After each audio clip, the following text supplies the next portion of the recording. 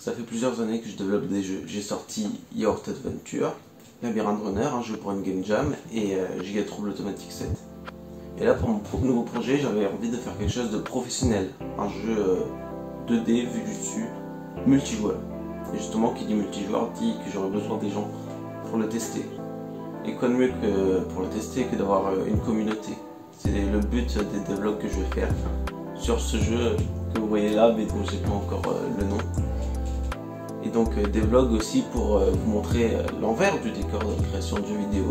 Un, envers du décor qui, qui n'est pas commun, que tout le monde n'a pas l'habitude de, voir quand il joue aux jeux vidéo on va vraiment questionner l'aspect technique de la création de jeux vidéo, le, code, les matériaux, l'animation, les systèmes de particules, tout. Enfin bref, euh, j'espère que ça va être bien. J'espère vraiment qu'il y aura des gens pour euh, tester mon jeu, pour euh, parler, un espace commentaire rempli de, conseils, d'idées. Et bah sans plus attendre, allons voir ce que ça donne.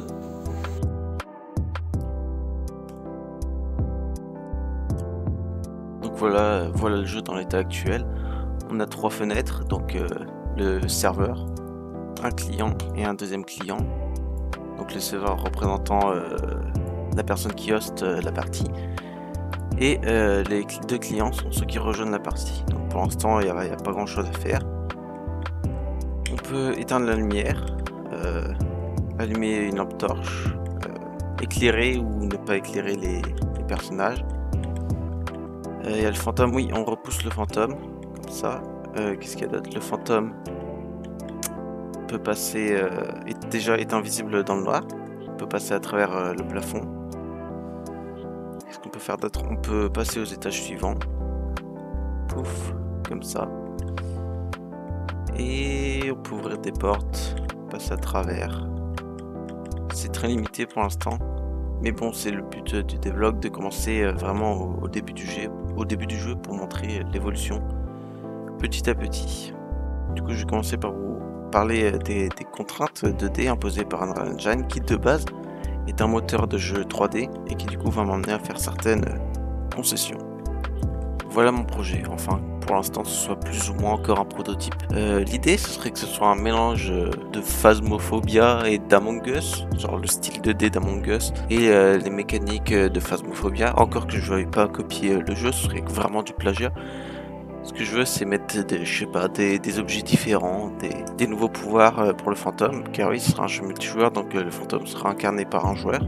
Et donc, euh, j'avais préparé un, enfin un document, un petit document dessus. le but du jeu, ce sera deux équipes, enfin deux équipes. D'un côté, il y aura un fantôme et de l'autre côté, les chasseurs de fantômes. Chasseurs de fantômes qui devront chasser le fantôme, comme le dit leur nom, ou je sais pas, l'exorciser, et le fantôme devra faire fuir ou tuer euh, les chasseurs de fantômes. Pour l'instant, c'est pas vraiment bien défini, mais euh, ça ne saurait qu'arriver. Je vais diviser le reste de la vidéo en trois parties le tri des sprites, la lumière de la lampe torche et l'éclairage des personnages. Ça vous donnera déjà une vision d'ensemble du travail que j'ai déjà fait. Donc, 1. Le tri des sprites. Avant de commencer, il faut savoir que par défaut, Unreal Engine trie l'ordre de rendu avec la distance de l'objet par rapport à la caméra. Ce qui permet aux objets loin de la caméra, d'être rendu derrière ceux qui sont plus près de la caméra, ce qui est normal dans un monde en 3D. Sauf que nous, ce qu'on veut, c'est pas ça. Comme notre jeu ne se déroule que sur deux axes, horizontal et vertical, on veut que les objets soient triés de manière à ce que ceux qui sont au-dessus du personnage soient rendus derrière et que ceux qui sont en dessous du personnage soient rendus devant.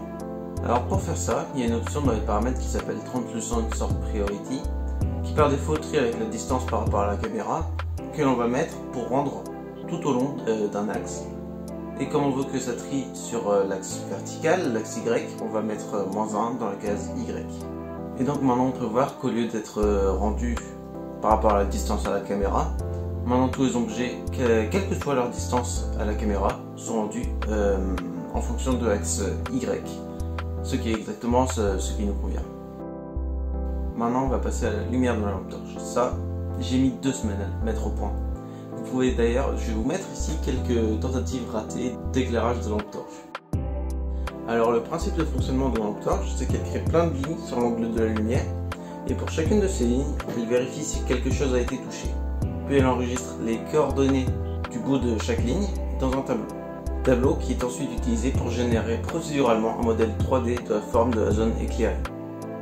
À ce point, nous n'avons qu'un modèle 3D mais toujours aucune trace de lumière. Ça arrive. On applique un post-process matériel sur la scène. Pour faire simple, c'est un effet qui change les couleurs de la scène et qui se rajoute par-dessus l'image actuellement rendue. Dans ce post-process matériel, j'ai déjà programmé deux effets différents. Le premier qui prend les couleurs de la scène et qui les assombrit pour donner l'impression que la lumière est éteinte. Ensuite, le deuxième effet enlève la zone qu'occupe le modèle 3D au premier effet et fait un fondu noir sur la distance pour simuler la lumière qui se dissipe. On peut voir qu'au final tout ça c'est qu'une supercherie. La lampe n'émet pas vraiment de lumière, c'est plutôt la scène tout autour qui s'assombrit. Enfin, on va passer à l'éclairage des personnages. Comme vous avez vu, la lampe n'émet pas vraiment de lumière, et donc les personnages n'ont pas vraiment d'état éclairé ou pas éclairé. Ils sont juste constamment visibles. Pour pallier à ça, on va réutiliser le code de la lampe torche, et chaque ligne tirée par la lampe torche va assigner une valeur d'opacité au personnage en fonction de sa distance. Donc 1, le personnage est visible quand le personnage est tout près de la lampe, et 0 quand le personnage sera invisible, et donc euh, quand il sera trop loin pour que la lampe l'éclaire. Ce qui permet d'avoir un dégradé, plus le personnage s'éloigne de la lumière, au lieu de juste euh, disparaître et apparaître euh, directement.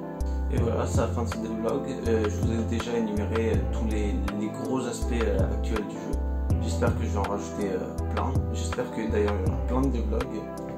J'espère que j'aurai le, courage d'allumer la caméra et de faire les vlogs. Mais pour l'instant, euh, je vais euh, continuer à bosser dessus et euh, je vous dis au prochain des. Ciao